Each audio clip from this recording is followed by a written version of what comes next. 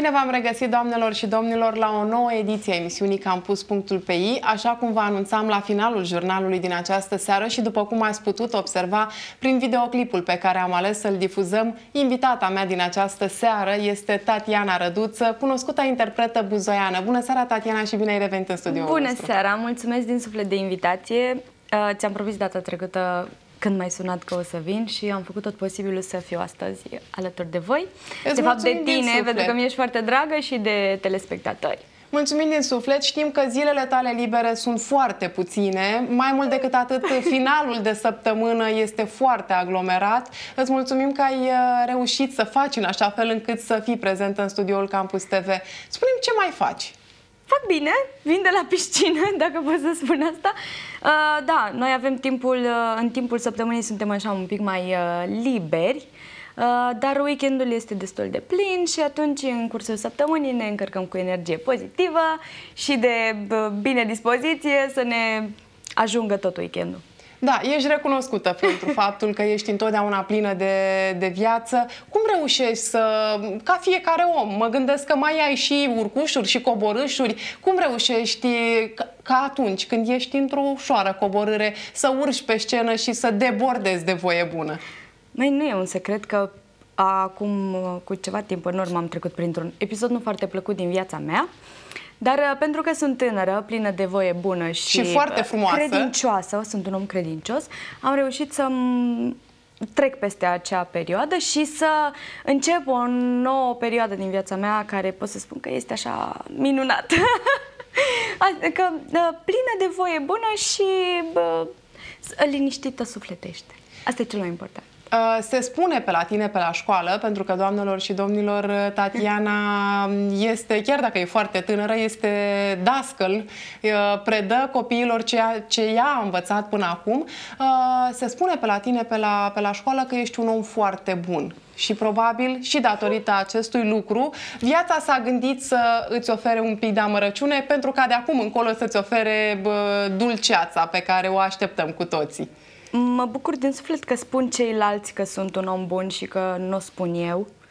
Uh, da, nu poți să știi de ce îți dă viața unele încercări. Important e că probabil trebuie să-ți demonstrezi ție că ești un om puternic și poate a fost o perioadă de maturizare a mea ca om, ca femeie, ca, ca artist până la urmă, pentru că după acea perioadă de clătinare a mea am debutat cu cele cinci videoclipuri și cu Voie Bună și în continuare cu toate evenimentele și spectacolele la care particip.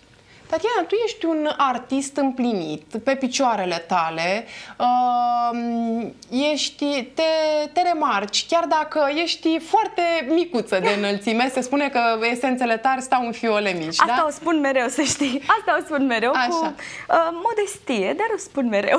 Cât de greu a fost ca m, la o vârstă oricum uh, mică, pentru că m, ești tânără, cât de greu a fost să ajungi un artist uh, împlinit pe picioarele lui, care știe că oriunde s-ar duce în lume, deschizând gura să cânte, uh, se va, fa- se va face remarcat. Păi sunt ani de muncă, ani de studiu. Uh, copilărie nu prea am avut. Uh, doar am știut să merg la școală să studiez, pentru că am studiat vioară și apoi pian și canto popular și apoi facultatea unde am studiat 5 ani în București și cu seriozitate. Sunt un om foarte serios și atunci când îmi dau cuvântul știu să mi-l uh, țin și cu Uh, multă încredere în tine, pentru că este foarte important, chiar le spuneam elevilor, este foarte important cum pășești. Dacă tu ai încredere în tine, asta uh, transmiți și celorlalți să aibă încredere în tine, pentru că uh, așa te remarci. Trebuie să fii un om uh, modest, modest, dar uh, să știi întotdeauna care ți este locul și unde ți este locul, care sunt pașii pe care vrei să-i urmezi în viață și să uh, ai tu drumul tău. Te visezi, uh, peste 2 ani mă visezi, nu știu, să zic, uh, mai având încă 5 videoclipuri și sunt sigură că peste 2 ani o să am încă 5 videoclipuri. Sau peste 2 ani o să cânt uh, nu știu unde. Sau peste 2 ani voi fi mamă. A, ăștia sunt pașii pe care uh, Totul trebuie este să-i... să-ți fixezi obiective pe care să știi sigur că le poți atinge, pentru ca apoi să-ți fixezi altele și altele și așa mai departe. Da, acum trebuie să ai grijă ce obiective îți fixezi, pentru că s-ar putea să nu ajungi la ele și atunci să nu cazi într-o decepție sau să nu mai ai încredere în tine. Uh, E acolo o balanță. Sunt, încă o dată spun, sunt un om credincios și știu că acolo sus există un Dumnezeu și uh, cred și cum spun ceilalți că sunt un om bun și atunci cred că merit uh, să am o viață bună, Liniștită. liniștită, dar și încerc să-mi fac o viață liniștită și frumoasă, așa, încerc să mă bucur de, de toate, uh, câte puțin din fiecare, ca să nu ne, știi tu, că cei prea mult strică, dar uh, încerc să-mi fac timp pentru toate, și pentru profesie, și pentru viața personală, acum mai mult ca niciodată. mă gândesc mai mult la, la familie, la viața personală, la... Uh, probabil la a face un copil, nu știu, da, deja instinctul matern se dezvoltă din ce în ce mai, Am mai observat mult. și în cântecele tale, să știi. Am observat Da. lucrul ăsta și chiar o să Și vorbim. plus că mie îmi plac foarte tare copiii și am foarte mare răbdare cu ei, mai ales la școală lucrez copii de la 4 ani și jumătate până uh, adulți de 30 de ani. Și am, chiar am observat că a, mă înțeleg foarte bine cu cei mici și există așa o conexiune între mine și ei foarte frumoasă. Colaborez cu ei foarte bine, nu știu. Bun. Comunic. Uh, Chiar dacă mă gândisem să, di- să mai vorbim un pic Probabil până sunt un difuzăm... copil mare. Exact. Până difuzăm următorul material, cred că e momentul potrivit uh, să, să-l difuzăm. Este vorba despre videoclipul uh, melodiei de a-și ajunge fân ca iarba. Da, în care apare nepoțica mea superbă și o pup pe această cale și pe părinții ei. Și și pe toți cei care mă cunosc și sunt în fața televizorului, da. În videoclip chiar am ținut morțiș să o aduc pe ea pentru că este superbă din toate punctele de vedere. Este un copil extraordinar de talentat și extraordinar de deștept. Mm, Acum vine ziua ei, face doar 3 ani și arată superb. Haideți să o vedem un videoclip, după care vom uh, vorbi reîntorcându-ne în direct.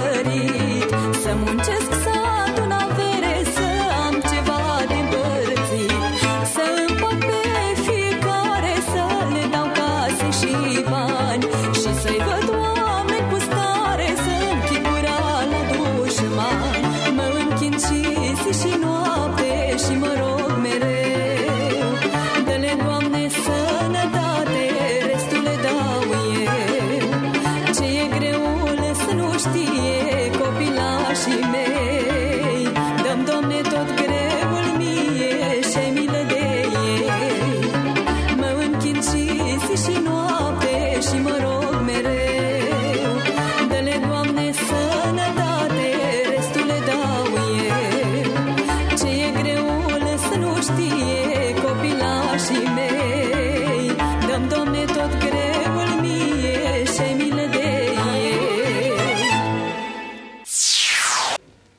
Am revenit în direct, doamnelor și domnilor. Ați putut urmări videoclipul despre care noi am vorbit. Ei, Tatiana, acum să le spunem telespectatorilor despre nepoțica ta, uh, despre cât de mult îți plac ție copiii, pentru că se vede acolo. De altfel, o melodie cu o încărcătură foarte mare. Da, am simțit la un moment dat nevoia să am și o piesă despre copii, chiar dacă nu i-am încă, sper să i-am în curând. Da, Doamne, în curând. Să te ajute Dumnezeu. Să dea Dumnezeu. Uh, nu știu, așa am simțit la momentul ăla. Am zis că linia melodică, uh, prima dată am cunoscut linia melodică și am zis că pe această linie melodică ar merge niște versuri pentru copii. Și așa am uh, vorbit cu Adi Mihu și mi-a compus versuri pentru copii. Iar videoclipul cum s-a născut? Uh, cred că în toamnă sau spre iarnă. Așa am vorbit cu Vali și ne-am dus uh, într-o locație, nu dăm nume, și Vali Putere, cel Vali cu care Putere, da, colaborați da, cu studioul toții. Valentino. Care îi mulțumesc, care are atâta răbdare cu mine, tot timpul când filmăm, îi spun, mai fii atent, uite părul, uite, vezi cum stă fota, vezi cum stă Bia. Deci e foarte atent, este super profesional și îl felicit pe calea asta și nu mai scap de mine. Asta el oricum știe. Da, și um, atunci m-am gândit și am sunat-o pe cumnata mea și am zis, uite, vreau să fac un videoclip și uh, piesa e despre copii. Hai să vedem cum o, fa- o convingem pe Jacqueline, pentru că este leoaică și o să vină ziua ei și o să-i spun la mulți ani. Bine, îi spun la mulți ani de pe acum, avem trei sărbătoriți, cumnata mea, cumnatul meu și ea. Să trăiască, să fie sănătoși. Sunt 3 lei în casă, dar uh, se înțeleg ei binișor.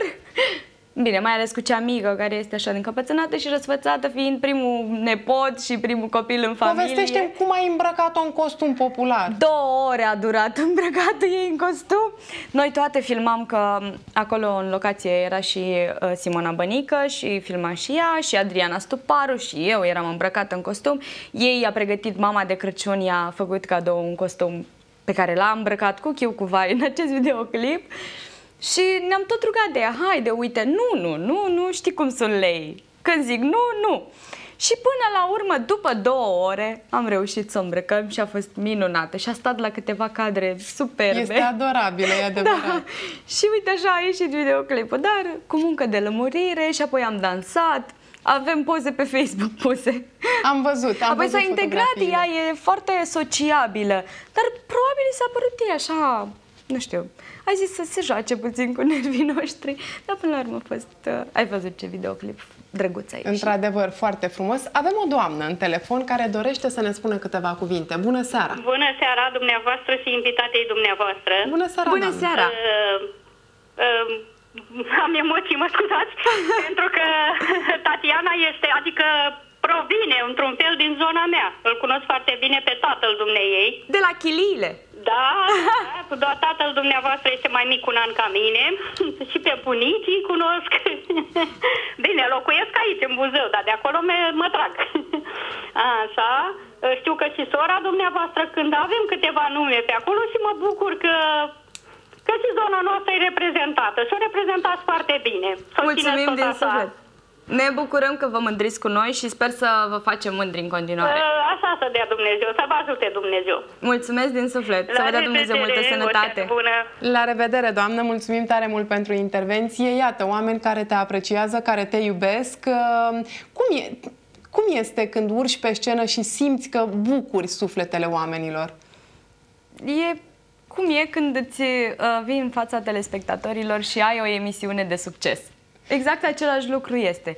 Uh, indiferent că mă duc și cânt la chiliile sau uh, în diferite uh, comune sau mă duc la un spectacol mai grandios, uh, încerc să am aceeași prezență scenică, încerc să colaborez și să comunic cu publicul exact la fel cum o fac ca atunci când în fața mea sunt 400 de persoane sau 1000 de persoane sau 30. Sunt la fel. Știu să... Uh, chiar aveam niște discuții așa cu colegele, "A, că suntem aici, um, tot întrebam cum stă părul, cum rujul, cum... Păi aici merge și așa. Nu merge și așa. Pentru că tu te duci să bucuri omul, chiar dacă este de la Cănești, că de acolo este mama, sau de la Chiliile, sau uh, pe platoul Dacia. Trebuie să avem aceeași prezență scenică, trebuie să prestezi la fel. Pentru că m, tu ești același, nu? Mă duc, sunt aceeași persoană. Și dacă vorbesc acum cu tine aici, în fața telespectatorilor, și dacă mă întâlnesc cu tine pe stradă, la fel comunic. Îți mărturisesc Sunt un lucru. transparentă M-am și uitat- cred că e un defect de-al meu. Da, nu e întotdeauna foarte e, bine da. să știi. Mi-am dat seama Mă și uitam de la asta. tine pe Facebook și m-am bucurat să constat un lucru. Indiferent că ești la o petrecere, la o nuntă, indiferent că urmează să mergi la chiliile sau uh, eu știu ce urmează acum, Valea Râmnicului sau așa. Mergem la Glodeanu Sărat, La duminică. Glodeanu Sărat, exact. Uh, indiferent unde mergi, indiferent uh, uh, cui cânti, tu postezi pe Facebook. Indiferent Da. că ești la nuntă, indiferent că ești uh, în orice altă locație. Acum am văzut că promovai exact uh, festivalul care va avea loc la Glodeanu Sărat. da, da. E un Duminică. lucru foarte frumos pentru că oamenii știu unde să te găsească. Da, mi se pare frumos pentru că sunt oameni din, uh, din oraș care vin uh, la spectacole, chiar dacă îndură 30 de grade, 40 de grade, se bucură de fiecare moment. Și pentru că momentele astea sunt doar vara și chiar dacă, ți-am spus, cântăm uh, departe, nu contează unde cânti. Tu ca interpret ești același. Pentru că nu poți să fii doi. Știi, Respectă aici ca mă, să fii respectat, uh, da, nu? pe platoul ăla ce mă aranjez mai drăguț și mi-au un costum mai așa că publicul trebuie să-l respecti indiferent de unde te afli și indiferent cui cânti și pentru cine cânti și dacă vei cânta pentru domnul primar și dacă vei cânta pentru țața Floarea, la fel vei cânta. Pentru că, bine, așa sunt eu. Așa, așa gândesc eu lucrurile. Cum a fost drumul tău de la vioară la canto popular? Și te întreb lucrul ăsta pentru că m, într-un interviu pe care l-ai dat tu prin 2010, dacă nu mă înșel, pentru adevărul, chiar l-am recitit cu, cu plăcere astăzi, uh, spuneai că a fost greu, pentru că nu neapărat că nu ți-a plăcut, dar a fost greu la vioară, cu vioara. Da, a fost foarte greu. Vioara, toată lumea știe că este un instrument foarte greu și atunci așa s-a făcut. Părinții mei nu aveau posibilitate să-mi cumpere pian, pentru că eu îmi doream foarte tare să cânt la pian, dar pentru că posibilitățile din vreme, de vremurile alea, alea erau, am decis să fac vioară și cred că am învățat vioară mai mult de dragul profesoarei decât de dragul instrumentului, că nu-mi plăcea și mama tot timpul studiază, studiază, dar nu mai cânti. Nu, am cântat doar pentru că, deși eram foarte bună, când cântam în fața publicului, aveam emoții foarte mari. Deci, indiferent dacă începeam să cânt la un recital sau la un examen, eram așa, nu, nu mai eram conștientă. E- Da, eram foarte emoționată, foarte emoționată. Pe când acum, când cu, nu știu, sunt așa, eu, sunt eu. Nu zic că nu am emoții, poate am avut emoții când mergeam în concursuri, chiar aveam emoții. Și acum, de fiecare dată, până să urc pe scenă, îmi fac semnul Sfintei Cruci. E un, un instinctul meu. Da, nu că îl fac, uh, vai, să mă vadă lumea că îl fac. Nu, îl fac așa, îl simt eu. Ei, atunci puteam să fac eu mătănii sau tot nu puteam să reușesc să mă stăpânesc, că nu, nu era făcută pentru mine. Cum a fost sora mea când, a, când cânta la violoncel. Deci Vorbim trebuia să îndată ia și distonocal despre sora ca ta. să cânte. Și a zis, nu e pentru mine, stop, punct și gata. Vorbim imediat și despre sora ta. Însă, bun, n-a fost să fie vioara. Ai cântat muzică ușoară? Am cântat, da, păi am debutat cu muzică ușoară, la șase ani, cu domnul profesor uh, Constantin Ungureanu. Am și început acolo a cu fost o poveste așa... A fost o poveste, da. Păi am cântat muzică ușoară și, bine, din cauza uh, sau datorită dumnealui m-am dus la liceul de artă, pentru că dânsul tot îmi spunea, uh, le spunea părinților, duceți la liceul de artă, duceți Noi nici nu știam că există pe vremea aia. Și mm, pot să spun că dumnealui are mai multe cărămizi așa la, în fundația a tot ce am clădit eu până acum. Pentru că îți trebuie o fundație. Apoi am văzut că îmi place foarte mult, știi? Dar primii pași pe care ți îndrumă cineva sunt foarte importanți. După aia te maturizezi sau te mai mărești și poți să alegi, să-ți faci alegerile singur în viață, dar până atunci ești așa un pic, te clatini și atunci trebuie să-ți arate cineva, uite, cred că asta ar fi mai bine pentru tine, tu ce spui? Că părinții nu m-au dus de capul lor. M-au întrebat, măi, uite, ți-ai dori? Și pentru că suna interesant și pentru mine ca fată mi se părea drăguț să fie la liceu de artă decât să fie la o școală generală. Că era mai drăguț. Dar pentru că toată lumea râdea de mine că mă plimbam tot timpul cu vioara, că studiam când ei se jucau afară, plus că o aveam și pe Lori micuță și o căram pe ea peste tot cu mine, că așa e, așa fac surioarele mai mari și uite așa, n-am avut copilărie. Și au trecut ani și apoi m-am dus la liceu și am zis ce opțiune am, că la vioară gata, renunț și a- se înființa clasă de canto popular. Atunci se făceau din 4 în 4 ani. Și uite că Dumnezeu a vrut să pice exact atunci când am terminat eu să se înființeze din nou clasă. Și am zis gata, asta e. Aveai aici vreo sunt. legătură cu muzica nu populară aveam nicio atunci? legătură, nici măcar nu-mi plăcea. Ascultai? Nu ascultam. Nu. Și totuși te-ai dus la clasa de canto Și m-am dus popular. la clasa de canto popular și mi-a plăcut foarte tare. Și apoi m-am întâlnit cu colegii mei și am zis, hai să facem o trupă, hai să facem o trupă, ce cântăm? Muzică populară. E, asta e, acum ce să fac? Voi cânta muzică populară. Și a început să-mi placă foarte tare și am început să merg în concursuri și deja începeam să cânt la evenimente și veneau bănișorii și normal că atunci cu pantofi, cu fustițe, cu rochițe, îți dai seama. Și ce, uite așa a început drumul meu, cam dintr-o joacă, dar până la urmă s-a legat ceva. Și apoi o iei mult mai în serios, că încerci să te cizelezi, să înveți de la unul mai mare ca tine ce crezi tu că e bun pentru tine, de la altul tot așa, că nu imiți pe nimeni, nu există a imita. Cel puțin eu nu fac asta. Încerc să iau cei mai buni de la altcineva, mai bun decât mine, dar cei buni pentru mine. Și facem așa un tot și Și este un produs, Tatiana un produs Răduță. finit, da. Uh, Vorbeam la începutul uh, emisiunii noastre despre faptul că vorbesc cu oamenii despre tine că ai fi un om bun. Uh, Lucrul ăsta îl spui și în cântece. Ai un videoclip la o melodie, fi om cu inima bună, da? Da. Uh, Haide să urmărim videoclipul, după care luăm o scurtă pauză publicitară și vom reveni în direct și o- vom mai încerca să aflăm din secretele Tatianei Răduță.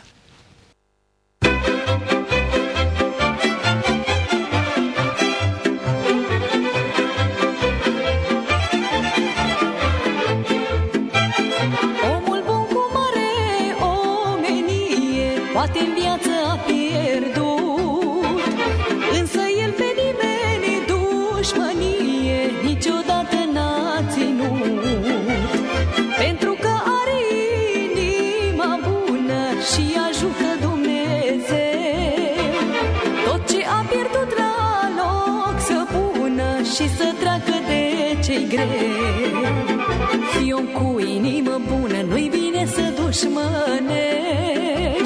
Seme în vânt, culești furtună, bine faci, bine găsești. Să nu uiți de omenie, să-ți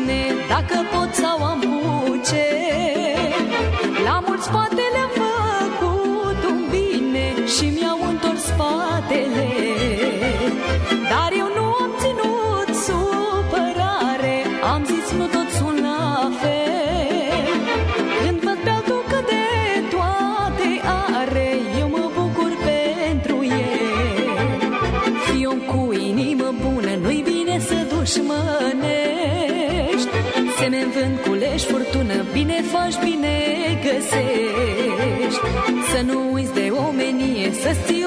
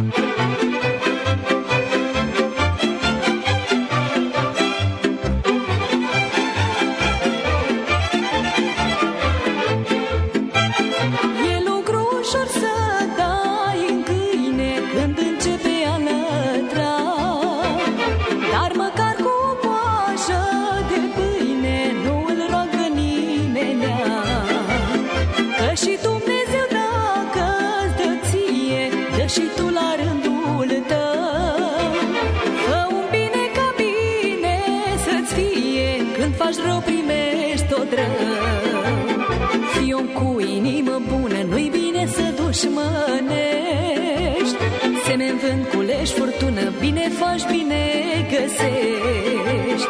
Să nu uiți de omenie, să-ți ții obrazul curat. Încă din copilărie, asta tata m-a învățat